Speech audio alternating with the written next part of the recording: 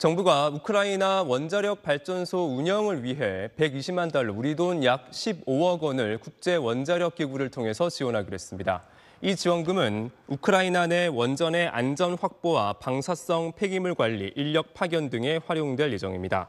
우리 정부는 인도주의적 방식으로 우크라이나의 경제 정상화를 돕겠다는 의지를 강조하는 한편 무기를 지원해달라는 요청에는 재차 선을 그었습니다.